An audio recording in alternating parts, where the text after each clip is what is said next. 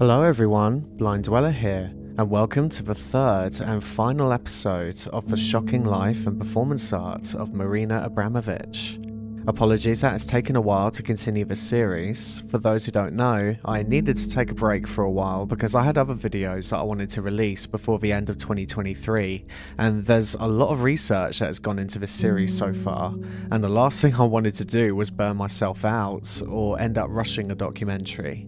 But now it's a new year, I'm fresh and ready to go, and looking forward to returning to taking a deep look at this very unique and controversial artist. In the last episode, we looked at her first ever performances, including the infamous piece titled Rhythm Zero, that a lot of people regard as her most controversial and well known performance. If you haven't seen that episode yet, please make sure you do so, by the way.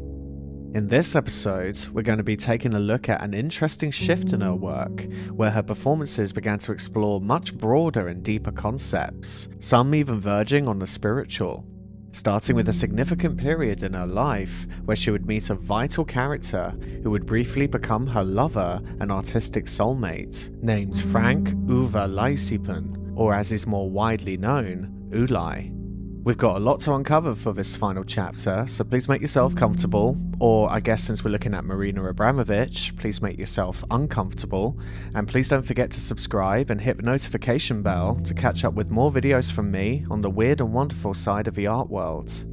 Welcome to another video everyone. This is the final installment of the shocking life and performance art of Marina Abramović.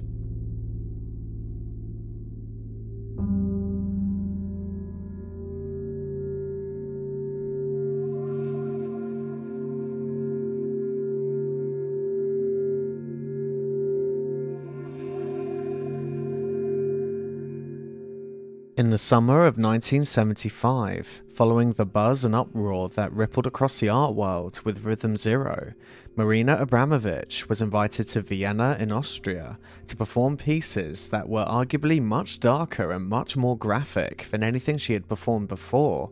Yet strangely, there isn't much information on these pieces except for what Marina herself writes about in her biography, Walk Through Walls.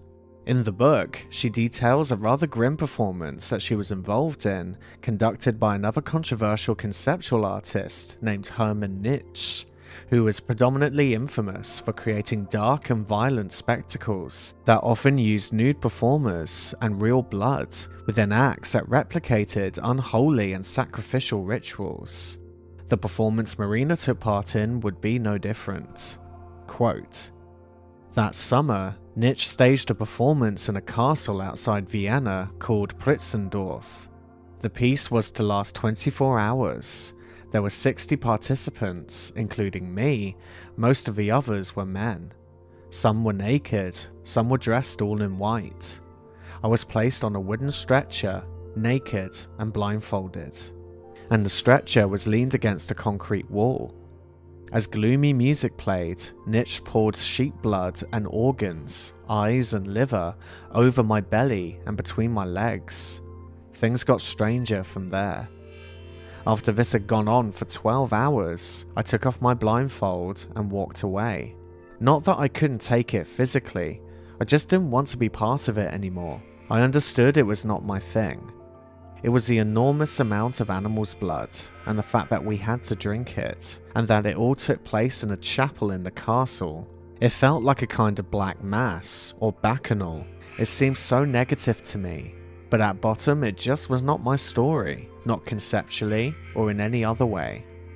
End quote. Following this, Marina chose to stay in Vienna where she would meet a Swiss artist named Thomas Lips, who she had a brief relationship with. Mixed with the profoundly horrific effect of the Hermann Nitsch performance and the brief fling with Thomas Lips, Abramović then became inspired to conceptualize her next performance in Vienna, which she would subsequently give the title Thomas Lips, or The Lips of Thomas. This performance again would have limited information surrounding it compared to her other work, with only a few photographs and video clips of the piece still existing today. The most well known photograph being that of a five pointed star that Marina would carve onto her stomach. Marina would detail the performance in her biography as follows. I slowly eat one kilo of honey with a silver spoon. I slowly drink one litre of red wine out of a crystal glass. I break the glass with my right hand. I cut a five pointed star on my stomach with a razor blade. I violently whip myself until I no longer feel any pain. I lie down on a cross made of ice blocks. The heat of a suspended heater pointed at my stomach causes the cut star to bleed and the rest of my body behind to freeze. I remain on the ice cross for 30 minutes until the public interrupts the piece by removing the ice blocks from underneath me. Duration 2 hours. End quote. Although the spectators, according to Abramović, were familiar with provocative art and performances, this particular piece proved to even be too much for them. After some spectators rushed to the stage to cover Marina in coats and help her off the ice, she then had to be taken to hospital, not for her wounds from the whip or the self-inflicted star she cut onto her stomach, but for her right hand that she had unintentionally gouged when she broke the wine glass, that would need a great deal of stitches. Towards the end of 1975, on Marina's 29th birthday, she received an invitation to take part in a new upcoming performance, this time in a gallery in Amsterdam known as De Appel, for the Dutch TV show called Beeldspraak. In early December, Abramović arrived in Amsterdam to meet the curator at the airport, who was accompanied by another individual, a German artist who went by the name of Ulay, who was to be Marina's guide and assistant for her performances. At that moment, Marina seemed to be instantly enthralled by him. Quote, Ulay, his real name I found out was Frank Uwe Laysiepen, but he never used it, was in his early 30s, tall and skinny, with long flowing hair that he tied up in the back with a pair of chopsticks, a fact that was immediately interesting to me because I did my hair the exact same way. But the other interesting thing was that the two halves of his face were different. The left side was shaved smooth and powdered, with a plucked eyebrow and light rouge on his lips. The right side was stubbly and a little greasy, with a normal eyebrow and no makeup. If you saw either side in profile, you would get a completely different impression masculine on one side, feminine on the other. End quote. As she spent time with him in Amsterdam, they would discover quite surprising similarities to each other, the biggest coincidence being that they shared the same birthday of November 30th. As time went on, they spent more time with each other and began to form an incredibly passionate romantic relationship. But this ultimately would only be the beginning of a partnership that would change both of their lives quite significantly.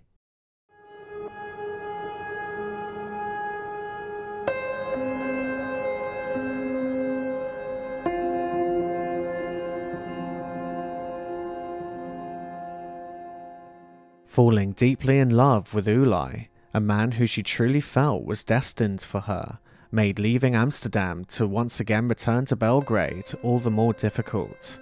Not to mention that she was still married to Nesha Pavlović and living with her mother. It was a relationship riddled with forbidden desire and one that would have to be kept secret for a long time.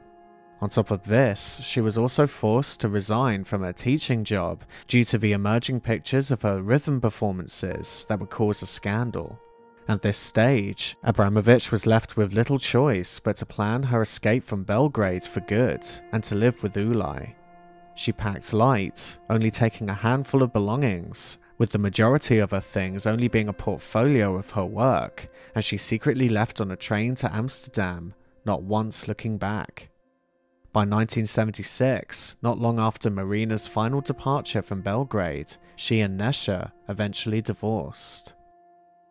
Not long after moving in together, Marina and Ulay, realizing more and more how their perceptions of art were merged into one with their similar personalities, traits, and artistic backgrounds, they began planning performance art projects together. Inspiration for their first ever collaborative performance came from an unlikely item in their possession, a Newton's cradle. Ulay, for one, was absolutely fascinated in the motion of it and the illusion of the ball bearings essentially transferring energy and movement to each other. Therefore, the idea came to them both to do the same, to collide into each other and to merge their energy into one. Although the movements would not be as clean or precise as a Newton's cradle, Ulay and Marina both recognized the beauty in that, a rawness that could be encapsulated by the project, and thus the performance known as Relation in Space was conceptualized. Quote, the idea of this piece was two naked bodies running and hitting each other frontally and increasing the speed for one hour. We really wanted to have this male and female energy put together and create something we called that self. It was very important to collaborate and to mix our ideas together and not ever say to anybody from whom the idea comes from.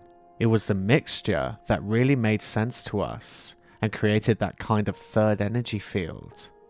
End quote. The performance took place for the annual Venice Biennale art event in a warehouse on the island of Giudecca in Venice, Italy, in front of a few hundred spectators.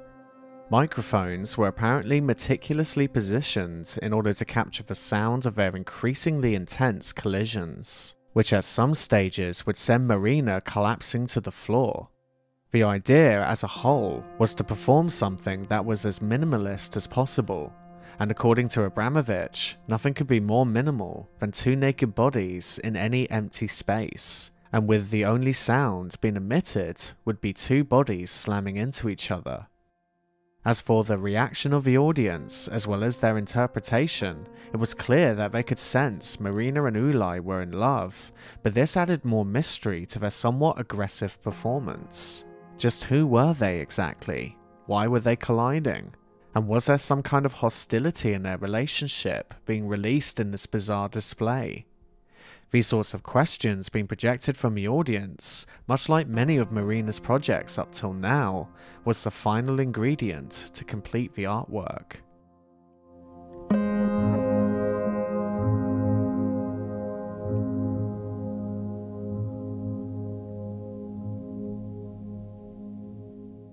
Following Relation in Space, Marina and Ulay would make an ambitious decision.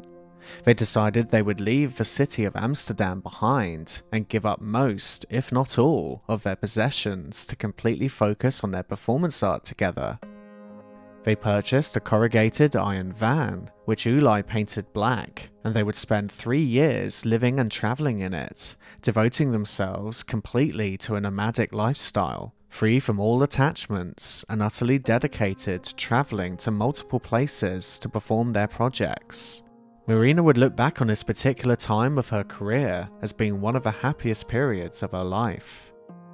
During 1977, Ulay and Marina materialized many interesting concepts, all of which would have virtually no rehearsals nor any particular end goal.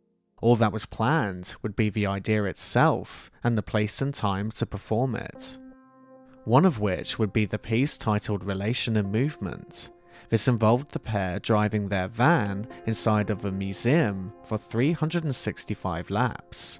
A black liquid oozed from the car, forming a perfect circle. The idea was that each lap represented a year and after 365 laps, they, quote, entered the new millennium. Another piece, titled Relation in Time, they set back to back, tied together by their ponytails for a total of 16 hours. As time went on, their hair would eventually come apart, strand by strand. They allowed the public to enter the room to see if they could use the energy of the public to push their limits even further. Another well known piece, titled Breathing In, Breathing Out, was a particularly surreal, yet very simple performance that garnered wide attention. In this, the duo locked their mouths together and basically inhaled each other's exhalations until they had used up all the available oxygen. Quote, we stuck cigarette filters in our nostrils to block the air, and we taped little microphones to our throats. We kneeled down facing each other. I blew all the air out of my lungs, and Ulay breathed in all the air he could. Then we clamped our mouths together, and he blew his air into my mouth. Then I blew the air back to him. As our mouths stayed fixed together, as the sound of our breathing, and then our gasping, was amplified, we exchanged again and again that one lungful of air, which became less and less oxygen and more and more carbon dioxide as it was exhaled time after time. After 19 minutes, there was no oxygen left. We stopped just before losing consciousness. End quote. It would also be during 1977 that one of Marina Abramović's trademark performances would first be conceptualized, the piece titled Imponderabilia, where Ulay and Marina, both completely nude, would stand in a narrow doorway. And in order for the public to pass to another section of the exhibition, they must squeeze sideways between them, and in doing so, choose which one of them to face. Many other performance artists, as the years went by, would recreate this concept in Marina Abramović retrospectives. I've actually personally witnessed this myself, and what I always find so interesting is seeing which one of the two performers a member of the public chooses to face towards when passing through. The pattern that I personally began to notice quite often is normally a woman chose to face the naked female performer and a man chose to face the male performer. As to why this is, I'm not quite sure. Perhaps society has conditioned people when in these types of situations to have more trust in their own gender, or that they feel that to face the naked member of the opposite sex could be disrespectful or perverse in some way. Either way, I thought it was fascinating to witness.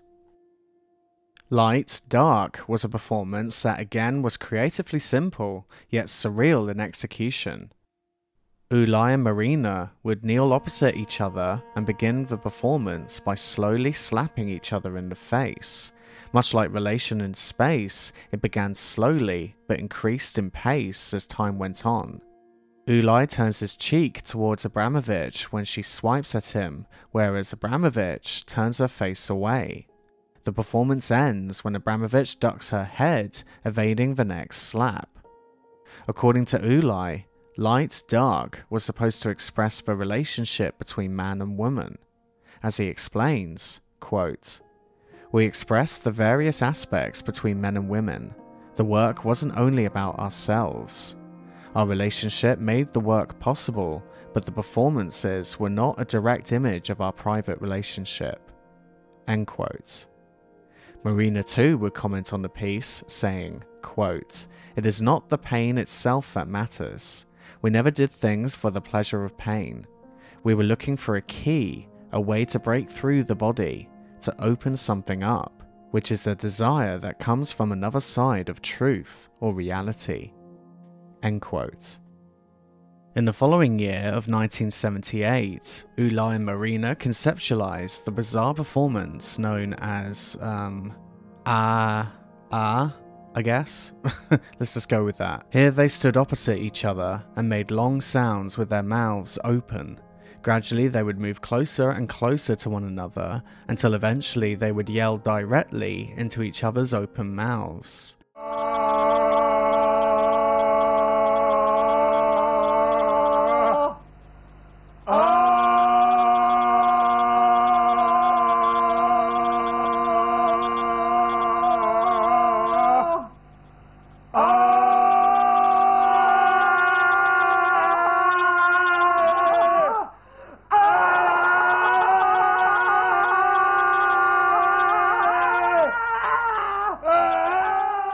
The performance would last 15 minutes, by the time both artists' voices would end up out of sync and failing from the continuous yelling.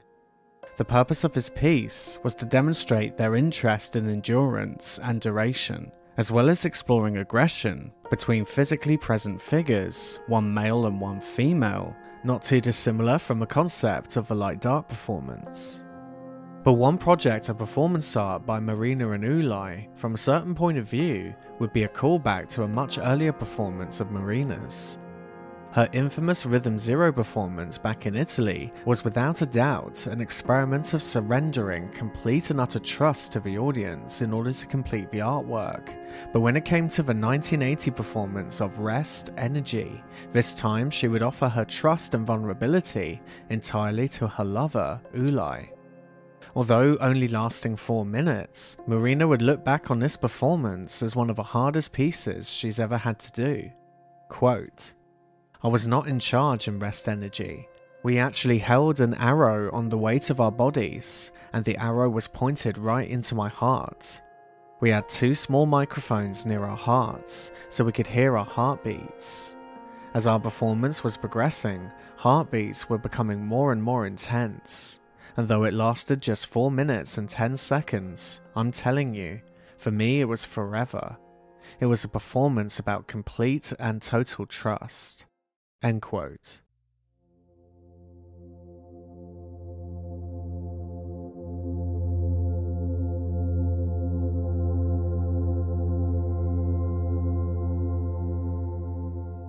Whether audiences loathed or admired them, Marina and Ulay seem to have been successful in their goal to bring something new and unexpected to the art world. Their ambition to let go of their individual egos to instead merge together to manifest one creative personality was accomplished, and sitting on the summit of the performance art scene. But as the years went by, a pattern was beginning to form. For whatever reason, in spite of their admirable ability to work seamlessly as a duo, the attention of the audience was gradually beginning to shift focus more towards Marina than Ulay. When the media, press, and art magazines would talk about their performances, most would mention Abramović first, and in some cases, they would leave out Ulay altogether, talking only of Marina or mistaking Ulay to be her assistant rather than her counterpart in the performances. Regardless, the couple continued to perform together throughout the 1980s. The most well known work during this period would be a series of 22 performances that took place between 1981 and 1987 in 19 locations across a number of continents titled Night Sea Crossing. During the performances, Ulay and Abramović sat completely still and in silence at either end of a table facing each other. In relation to this project would be the work displayed beside it, known as Conjunction, which was deeply inspired by Marina's growing interest in spirituality, particularly Tibetan Buddhism, and the time she and Ulay spent in Australia coming face to face with Aboriginal culture, which, according to Abramović, was an experience that proved to be one of her most transformative. Quote, We chose this culture for many reasons. First, it's nomadic, the second, this culture doesn't have possessions. It's a culture where we always believe in the idea of here and now, which is exactly what performance is about. And the third thing is that their entire life is the ceremony. And this piece, Conjunction, was really historically important because it was the first time ever that an Aborigine and a Tibetan Lama physically ever met. We decided to construct a very large table covered with 24 karat gold leaves, and at that table, Ulay and I are sitting in the western position, and opposite the table is a Tibetan Lama and a high degree medicine man sitting in a cross legged position. We are there sitting four days and seven hours a day, just sitting in a meditative state. End quote. Things did not seem to improve in the relationship between Marina and Ulay, however, Although still deeply caring for each other, they were distancing further from each other. Their passion was beginning to wear thin, and tensions only seemed to rise. The effect their success was having on each of them was also drastically different. Ulay never really cared that much for the lifestyle of fame or for being in such a spotlight. Being a lifelong anarchist who enjoyed solitude, he began rebelling against what he saw as a growing commercialization of their work. Marina, however, was growing weary of the poor struggling artist's life and welcomed growing success. Sure enough, by 1988, they would make a spiritual journey that would ultimately mark the end of their passionate and intense relationship, an art stunt which at the time had never even been seen before, named Lovers The Great Wall Walk. What would make this project so bittersweet would not just be the fact that it marked the end of their partnership and relationship, but the fact that it was originally planned for many years prior, in 1983, when they proposed to be the first people to walk the entire distance of the Great Wall of China, the famous ancient monument originally built as a defense against invaders from the north and west of the country.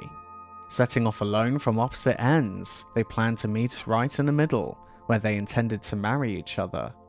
The concept exhilarated them both, the idea was so grand, and even in their early stages of planning the stunt, Marina especially knew that it would be nothing short of historic. The couple visualized themselves walking alone across the dramatic landscapes of China, camping under the stars, and romantically concluding their journey through wedlock. They envisioned lovers as not just a great journey to celebrate their love and commitment for each other, but also an art display in which they would be both the performers and the audience. However, it would be no simple feat to accomplish. Initially, the authorities of Beijing reportedly struggled to grasp Ulay and Marina's motives for their excursion. Performance art, especially of their style and caliber, was practically unheard of in China, to them, it seemed rather preposterous to camp and walk along the great historical monument for a quote unquote art project, not to mention get married on it. Regardless, after many years of pushback, they were finally granted permission when they both agreed to participate in a film of their, quote, study of the Great Wall for Chinese Central Television. But by then, their relationship had completely dissolved. In spite of this, however, they decided to pursue their plans and go ahead with the stunt, changing the narrative from one of marriage to one of separation. The long walk began for them on March 30th, 1988. Abramović set off westwards from the Dragon's Head at the Bohai Sea, an extension of the Yellow Sea between China and the Korean Peninsula, Dressed in baggy red clothes, she was, according to an informative article by The Guardian on the lover's stunt, given the nickname Parma Ma meaning Big Fat Sister Mother. As for Ulay, he began his journey 5,000 kilometers west of Abramović, starting his walk at the Dragon's Tail in the Gobi Desert. The walk proved to be incredibly grueling, with both artists covering a distance of approximately 2,500 kilometers over a period of 90 days. Abramović, walking most of her journey through mountainous regions of China, came across many difficult and inaccessible paths. At one point on her fourth day, after slipping on some rocks, Abramović and her guide found themselves nearly falling to their deaths. Of course, both artists would also see amazing sights along the way, such as locals who had built homes and stables into sections of a winding wall, who would also assist them on their travels and share stories and legends about the land. Many of these crowds from the surrounding towns and villages, fascinated in the artists, silently followed them wherever they went. In one settlement, villagers even gathered around and watched Abramović as she slept. Finally, on a stone bridge, Ulay and Abramović met at the center. Marina would quote on the experience as follows That walk became a complete personal drama. Ulay started from the Gobi Desert, and I from the Yellow Sea. After each of us walked 2,500 kilometers, we met in the middle and said goodbye. We needed a certain form of ending after walking this huge distance towards each other it is very human. It is, in a way, more dramatic, more like a film ending, because in the end, you really are alone, whatever you do. End quote. Despite the Chinese press, a group of musicians, and even a fireworks display being prepared for the couple upon the climax of their journey, there would be no wedding ceremony. They simply took part in a press conference together in Beijing, then they returned separately to Amsterdam and would not speak nor see each other again for 22 years.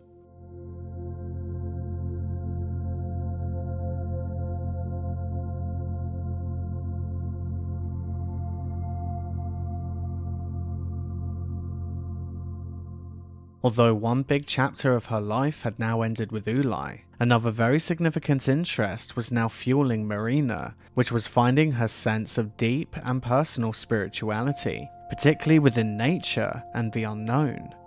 During her hike on the Great Wall, she spoke of how she felt that the metals in the ground influenced her mood and her state of being, she also pondered on the Chinese myths that she was told by the locals, in which the Great Wall had been described as, quote, a dragon of energy. But even before Lovers, during the 1980s, Abramović had deeply immersed herself in Tibetan Buddhism, studying and meditating at monasteries, which would later profoundly impact her understanding of the mind body connection and the potential for transcendence through artistic expression. But rather than following one spiritual path, such as Buddhism, exclusively, Marina's spirituality is not confined to any particular religious dogma. Rather, it is a synthesis of various influences that she has encountered throughout her life. Her performances often serve as a form of spiritual exploration, pushing the boundaries of the self and inviting the audience to engage with their own spiritual dimensions such as allowing the audience to step into shoes made of crystals for a 1991 art piece titled Shoes for Departure, in order to encourage a certain state of mind from the participants. Quote, I have instructions for the public to take off your shoes and, with naked feet, put on the two crystal shoes. Close your eyes, don't move, and make your departure. I'm talking about a mental, not physical departure. So the public can enter certain states of mind, helped by the material itself. Material is very important for me. I use crystals, human hair, copper, iron. The materials already have a certain energy. End quote. Her fascination in meditation taught in Tibetan Buddhism, as well as the profound spiritual connection she developed for the natural world, would only continue to reach new heights throughout the 1990s and kickstart many new concepts. In fact, by 1995, when she was organizing her piece titled Cleaning the Mirror, this would be directly inspired by Tibetan death rites that prepared disciples to become one with their own mortality. Cleaning the Mirror is a series of related performances and video installations that explore themes of mortality, impermanence, and the purification of the soul. Abramović sits on a chair with a complete human skeleton on her lap. A bucket of soapy water stands beside her. For several hours, she meticulously scrubs the bones with a floor brush, cleaning away the dirt and grime that has accumulated on the bones over time. The performance is both physically and emotionally demanding. Abramović's face is often stained with concentration, and her movements are slow and deliberate. The sound of a brush scraping against the bones is amplified, creating a sense of raw intimacy. As Abramović cleans the skeleton, it gradually becomes whiter and more luminous, this could be seen as a metaphor for the cleansing of the soul, or the process of facing one's own mortality. The dirt that is removed from the bones could represent the negative aspects of the self, such as fear, anger, ignorance, pride, and attachment. What makes it more interesting is that in cleaning the skeleton, Marina then becomes the one covered in dirt, symbolizing the transference of these negative qualities, almost like a sacrifice for the benefit of the skeleton. But in truth, cleaning the mirror can be interpreted in many different ways. Some viewers see it as a meditation on death, while others see it as a call to live each moment to the fullest. For Abramović, though, the skeleton represents, quote, the last mirror we will all face, in a work dominated by death and transience. This would not be the only time skeletons would appear in her performances, though. For example, later on in her career, she would conceptualize her type of self portrait performance titled Nude with Skeleton, which evokes a traditional exercise undertaken by Tibetan monks during which they slept and meditated alongside the dead in various states of decay. Through this practice, they gain an understanding of the process of death and impermanence. Quote In different periods of my life, I made several works using a skeleton. I construct the skeleton of my own size, and I lie posing the skeleton on my body. By breathing slowly, the skeleton gets animated and moves together with me. The work is really about facing your own mortality. It's about fear of pain and fear of dying. It's something that in our life we all fear the most. And again, in my own work, I always like to confront these fears. So being close to the skeleton, washing it, carrying it, breathing through it, looking at it, and confronting it is the way to deal with that fear. End quote.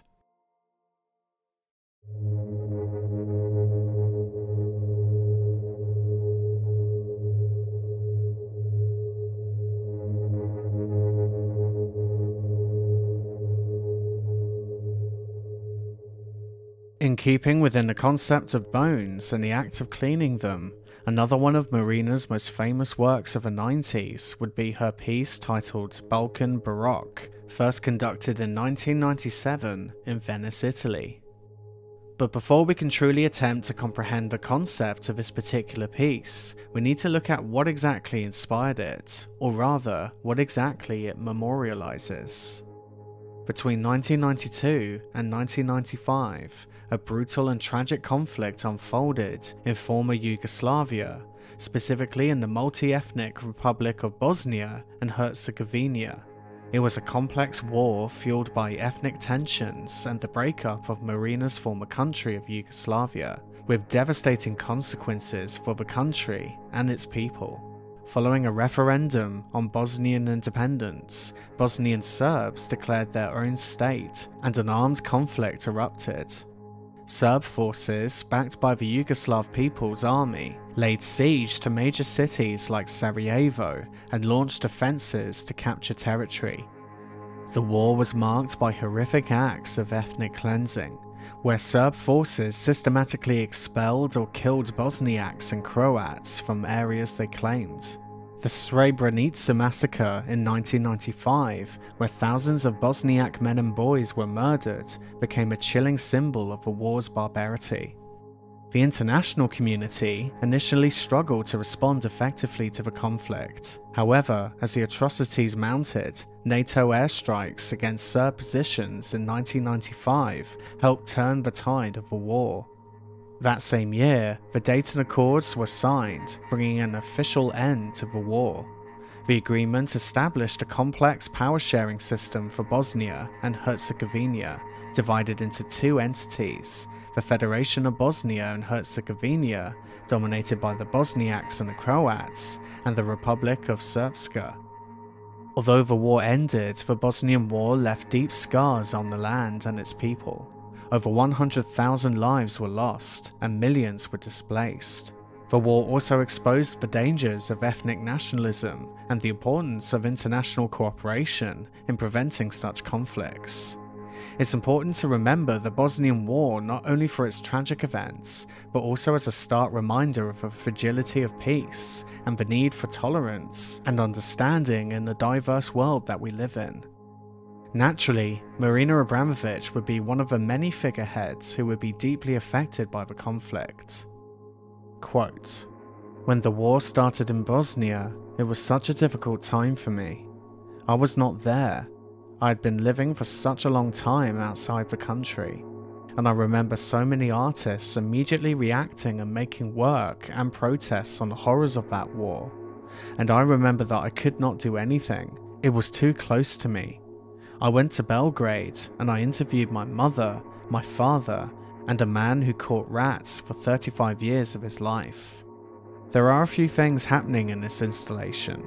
It's positioned so the hands of my father, my father with a pistol, my mother's fist showing empty hands, and then with crossed hands on her eyes. And then it's me, first as a doctor, telling the story of a rat catcher, and then as a sexy dancer, dancing to the Hungarian csárdás. And in the meantime, there's a huge pile of bones, which during the entire performance I'm sitting and washing. It was summer in Venice, very very hot, and after a few days already worms started coming out of the bones, and the smell was unbearable. The whole idea that by washing bones and trying to scrub the blood is impossible. You can't wash the blood from your hands as you can't wash the shame from the war. But also, it was important to transcend it. That can be used, this image, for any war, anywhere in the world. End quote. This, personally for me, is my favourite performance of Marina's. I remember seeing a retrospective of this at the Royal Academy in London and just being completely overwhelmed with emotions. I remember staring at the pile of bones for a vast length of time whilst listening to Marina's voice in the background, and let me tell you, it hits you deep like nothing you can imagine. And I felt it was true what she said, although directly manifested from the horrors of the Bosnian War, in truth, this piece encapsulates the horrors, brutality, and insanity of practically any war, making it such a universally powerful artwork.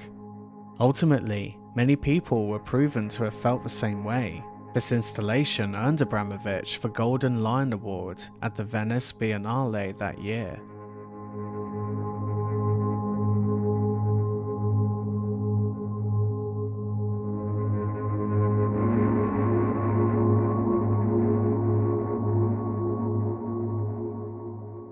At the turn of the new millennium, Marina Abramović at this stage appeared to be revisiting a grassroots concept of hers that arguably served as one of the main factors that shoved her career into the global spotlight from the very beginning, which was an intimate and close interaction between herself and the audience. Throughout the 2000s, Marina would conceptualize installations that would deepen the connection between herself and the spectators, in the wake of the tragedy of 9 11 in 2001, she began working on her piece titled The House with an Ocean View in the following year. That, according to her, served as a means to immerse both herself and the audience in a sort of purifying energy. As explained by her, quote, House with an Ocean View was for me an experiment. When I came to New York, it was just after September 11th, and I found New York had changed so much. I found New York and people living there different, more emotional, more vulnerable, more spiritual. The idea of the work was an experiment.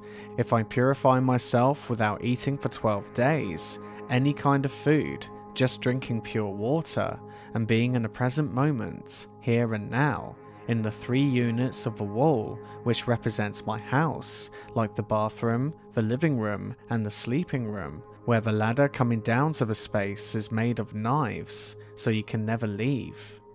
That kind of rigorous way of living and purification would do something to change the environment and to change the attitude of people coming to see me.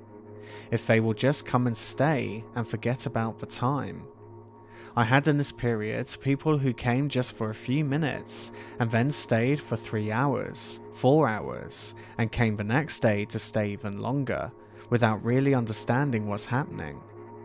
But there's something like, I almost think that if you are in the present moment, you are purified, and that you can create a kind of energy field that you can charge on an atomic level of the space in a certain way with the public and feel and just be in the present time. End quote. However, one groundbreaking durational piece that seemed to capture the most intimacy between herself and the audience, as well as receive the most worldwide attention in recent years, was between March 14th to May 31st in 2010 at the Museum of Modern Art in New York. For three months, she sat motionless in a chair, inviting visitors to take the opposite seat and silently engage with her gaze. Titled The Artist is Present, the performance became a landmark event in contemporary art, sparking profound emotional connections and raising questions about human presence, vulnerability, and connection. Quote, I have the empty chair, so everybody from the audience can come on their free time and sit in front of me and engage in this kind of silence, experience of the here and now, the present moment so you can observe this as kind of a stage for the experience, or you can really enter that space and take active participation, which actually brings you much closer to the artist and this presence and to your own experience. If you sit on this chair opposite me, it's extremely important to actually find a very comfortable position and you don't move. Just sit motionless and see what happens if we connect our eyes. And I really think that it's going to be something quite special to go into this unknown territory. Because of the energy coming from the audience, I have to be the transmitter and receiver at the same time. That energy just goes through me. And to be ready for the next visitor, and the next one, and the next one. End quote. Of course, each encounter was unique from person to person. Some simply stared, some smiled, some would burst into tears, and one woman, as seen in the artist's present documentary, would even attempt to strip naked before sitting opposite her, but would subsequently be escorted out by security. For those who did sit opposite her though, what's fascinating to see is that Abramović would completely mirror the expressions and emotions of her sitters. For example, if someone would cry, she too would start crying, sharing that exact same emotion together in an incredible moment of oneness. Understandably, though, due to the nature of the piece, that sitters could choose the duration of time spent with Marina, with some sitting for just a few minutes and others up to an entire day. This made tensions within the sometimes endless queue of people difficult to control at times. Almost being a callback to the raw public energy captured within her Rhythm Zero performance.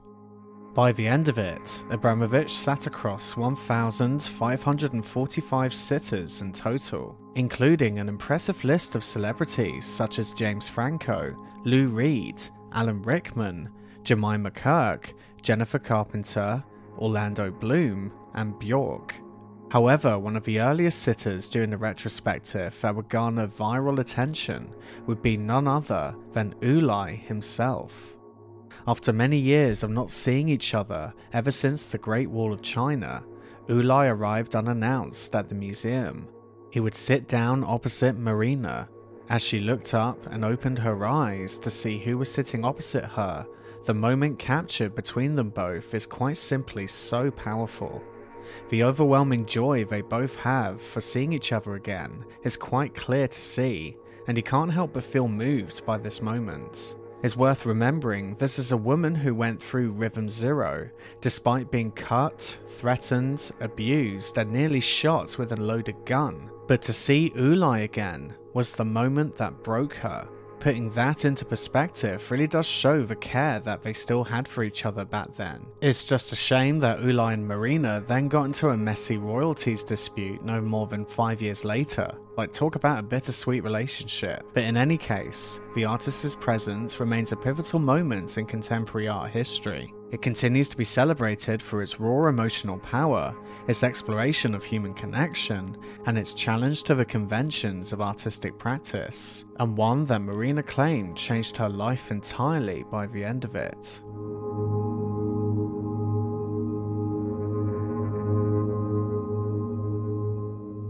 So I want to end this documentary by talking about something that I know is going to get a lot of mixed opinions. Although at this point it's fair to say that Marina Abramović was not one to shy away from controversy or incredibly bold ideas for her performances, and in spite of the boundaries she had already pushed even earlier on in her career, nothing would be quite as divisive and incredibly outlandish as her provocative performance that I've not yet mentioned, known as Spirit Cooking conceived in 1996. Always gotta save the best till last, eh? This particular project began with an idea for a book, a cookbook to be precise, that would be a collaborative effort between her and printer publisher Jacob Samuel in her Amsterdam studio. As explained on the Museum of Modern Art website, quote, the artist chose to make a cookbook, writing a series of aphrodisiac recipes that serve as evocative instructions for actions or thoughts. To allow the artist to create the accompanying etches in a manner consistent with her body oriented practice, Samuel prepared the plates with a soft ground so she could scratch directly on the surface with her fingernails, and encouraged her to work with spit bite, using her own saliva with nitric acid to paint on the plate. End quote.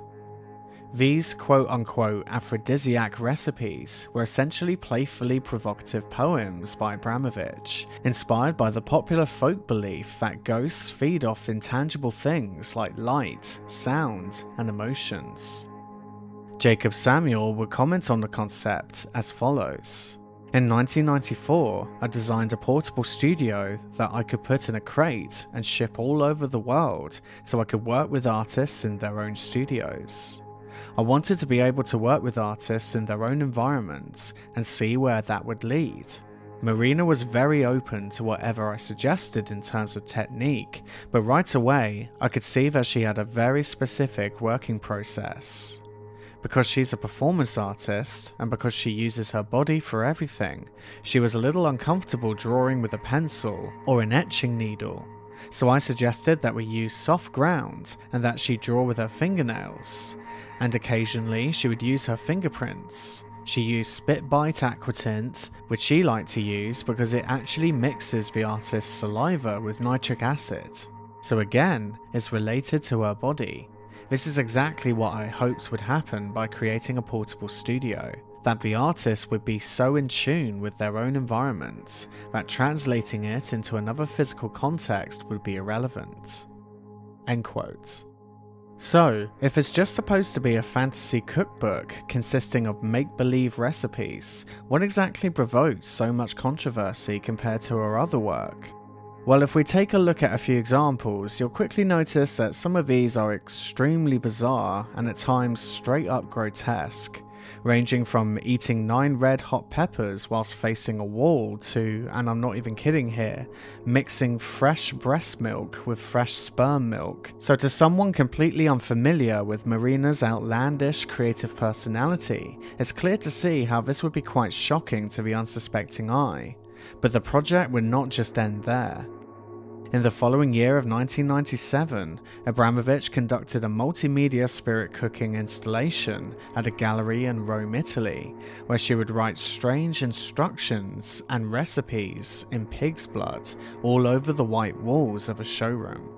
Phrases included things like spin around until you lose consciousness, try to eat all the questions of the day, or saliva of your lover mixed with morning dew collected from eucalyptus leaves would just be a few examples. Now again, given what we know of her work in the past, this is pretty shocking and gruesome, but relatively nothing out of the ordinary when it comes to Abramović in the grand scheme of things. With a great deal of context removed, I can certainly see how this would look barbaric and, I guess I'll use that word now, satanic. But the fact is, if you really want to find out why this received so much backlash, I'm afraid that will involve going down a conspiracy theory rabbit hole, and I hate to break it to you, but this is an art channel, not a conspiracy theory channel. There's also a lot of American politics involved with the conspiracy as well, and, well, have you heard my accent? American politics is not exactly my strong suit either, so that's really as far as I will go for this one, I'm afraid.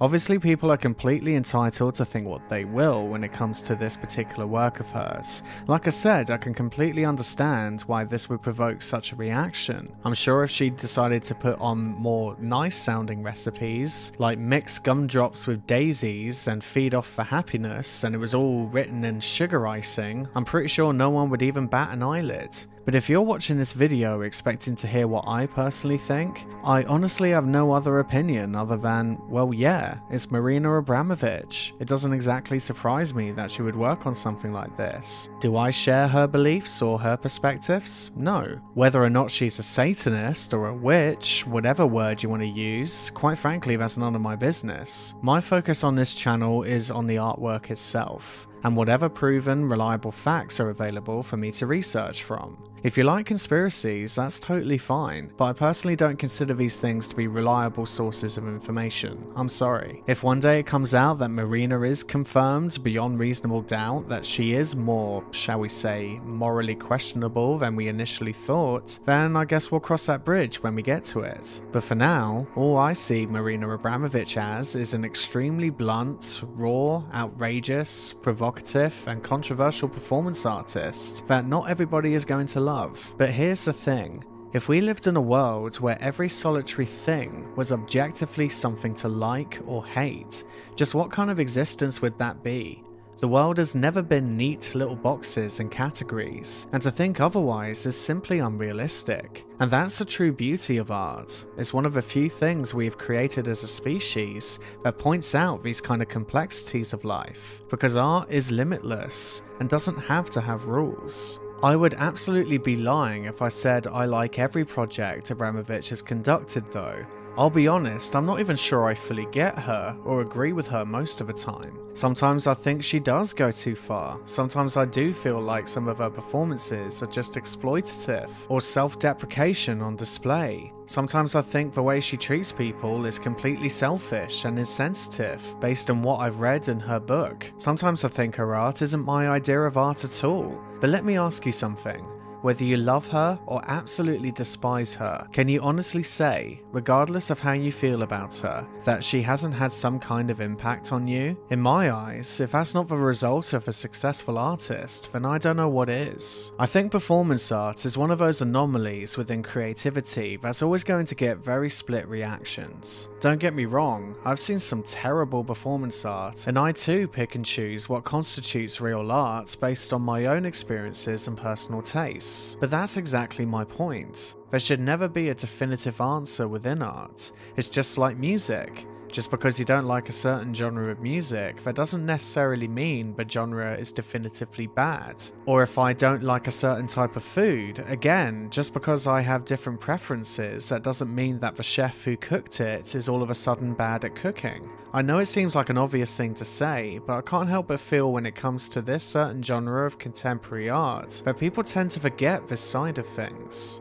And Marina Abramović is an artist who I don't think I'll ever truly be able to fully wrap my head around. I find her fascinating, but even going to her retrospective at the Royal Academy left me feeling both inspired and on the other hand feeling like, okay, what the fuck did I just witness? But having said that, I can't think of another experience in art quite like it, so I absolutely consider that noteworthy. In conclusion, then, despite the criticisms and controversies, the legacy of Marina Abramović remains undeniable. She's challenged our understanding of art, pushed the boundaries of human performance, and fostered profound moments of connection between artist and audience, many times almost effortlessly. Her work continues to inspire awe and introspection, drawing in huge crowds of people worldwide, sparking huge debates, of course, all ensuring her place as one of the most influential artists presently alive today, whether for better or for worse. She's been relatively quiet with new ideas in recent years, mostly leaving it to the hardworking new generation of performance artists from her Marina Abramović Institute. But it will be interesting to see how both her most loyal fans and her most passionate haters will react to whatever she has next in store.